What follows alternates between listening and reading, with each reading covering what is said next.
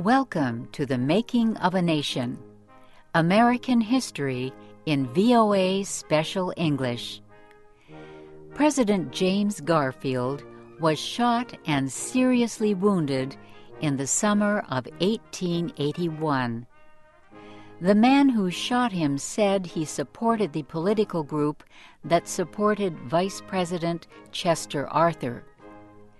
The gunman was found to be insane, but some people were ready to believe the worst about Vice President Arthur. They knew that many of the Vice President's political allies disliked President Garfield. They thought the Vice President might have helped the gunman in some way. This week in our series, Harry Monroe and Kay Gallant tell what happened after President Garfield was shot. For a time, it seemed the president might get better. But the bullet wound became infected. He died of the infection two months after he was shot.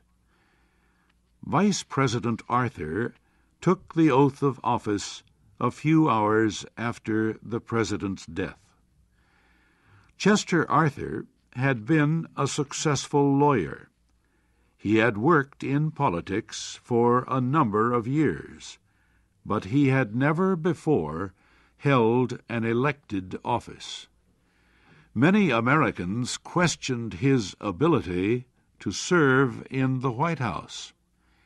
One person put it this way Chet Arthur, President of the United States? Good God. Almost everyone feared Arthur would be a tool of a Republican Party leader in New York, Roscoe Conkling. They were sure Conkling would be the real power in Arthur's administration. They were wrong. Chester Arthur surprised everyone. He broke all his ties with the Conkling political machine. He remained independent of any party group. Arthur asked Garfield's cabinet to resign. He chose new men for all but one department. In his first message to Congress, President Arthur asked for changes in the way government jobs were filled. He proposed a new civil service system that would let ability, not politics, decide who got government jobs. Republican Party leaders opposed these proposals. The civil service system would stop them from giving federal jobs to their supporters. It would destroy much of their power. These Republican leaders controlled Congress. They refused to act on the civil service proposals. Civil service reform, however, was an important issue. President Garfield had been assassinated by a man who believed he should have gotten a government job because of his politics. Also, new cases of dishonesty had been discovered in the Post Office Department. The public began to demand laws to clean up the civil service. In 1882, a new Congress was elected the new Congress was controlled by the Democratic Party. President Arthur again appealed for civil service reform. This time, he got results. The new Congress passed a civil service bill that required 10% of all federal jobs to be filled through competitive examinations.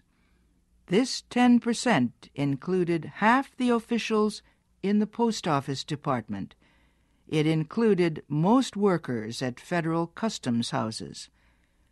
The bill also said it was illegal for politicians to ask government employees for campaign money, and it set up a civil service committee to enforce the new law. President Arthur also found himself faced with an unusual problem. The government was earning more money than it needed. Most of the money came from tariffs, taxes on imports.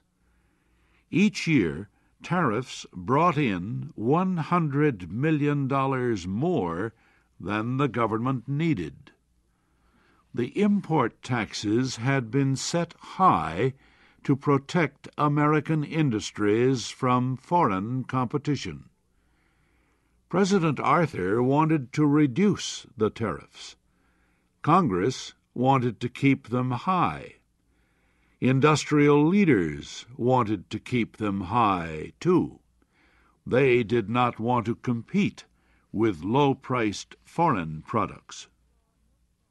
Congress saw no problem with the extra money brought in by high tariffs. It found many ways to spend it. For example, Congress raised payments to soldiers who had fought in the Civil War during the 1860s. It also approved money to build roads, bridges, and waterways throughout the country. Many of these things were not needed. They were approved for political purposes. They put government money into the home areas of powerful congressmen. In 1882, Congress passed the Rivers and Harbors Bill. The bill would cost almost $19 million. President Arthur vetoed the bill. He said it would waste too much money, but Congress passed the bill into law over his veto. Next, President Arthur urged Congress to form a committee to find a way to reduce tariffs. Congress formed the committee. The committee proposed that tariffs be reduced by 20 percent. But Congress did not consider the proposal when it began debating a new tariff bill. President Arthur was more successful in getting Congress to reduce the public debt. During his term, the debt was cut by more than $400 million. Chester Arthur's efforts for honest government and lower taxes won him much support among the people, but he could not win the support of his Republican Party. Arthur wanted to serve another four years in the White House. His name was put before the Republican nominating convention in 1884 the name of Senator James Blaine of Maine also was put before the convention. On the first ballot, Blaine received 334 votes. Arthur got only 278. Three ballots later, Blaine won the presidential nomination. However, many Republicans refused to support Blaine they accused him of being dishonest. They said he was controlled by powerful politicians. The Democratic Party chose New York Governor Grover Cleveland as its presidential candidate. Like Chester Arthur at the national level, Grover Cleveland was known for fighting dishonesty in government at the local level. He began as mayor of the city of Buffalo, New York. He cleaned up the city government and saved the taxpayers much money.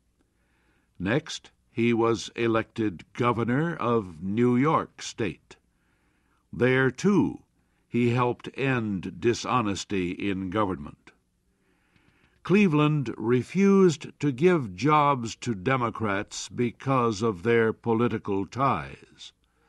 Instead, he filled state jobs with men of ability. This early success helped him win the Democratic presidential nomination. The campaign of 1884 between Republican Blaine and Democrat Cleveland was one of the most bitter in American political history. A group of Republicans who opposed Blaine published letters to prove he was dishonest. Blaine had written the letters several years earlier during a shameful incident concerning the sale of railroad stock. Now he was forced to defend himself against those old charges. Blaine's supporters fought back by discovering a scandal in Cleveland's past. Grover Cleveland had never married, but more than ten years earlier he had been involved with a young woman. The woman gave birth to a boy. Cleveland was not sure the boy was his son, but he accepted responsibility for the child. He sent money to help care for him. A Republican newspaper published the story. Soon, Republican crowds were shouting a joke about it. Ma, ma, where's my pa? Gone to the White House. Ha, ha, ha. Both candidates campaigned hard. It was clear to everyone that the vote would be close. Election day was cold and rainy. Early results showed the two candidates with almost the same number of electoral votes. The winner would be the one who captured a majority of the popular votes in New York State. That candidate would then get all of New York's electoral votes. It was not until three days after the voting that election officials announced Cleveland had won. His victory set off wild celebrations among Democrats across the country. Grover Cleveland really was going to the White House. Ha ha ha. His election would bring some important changes to the country. That will be our story next week.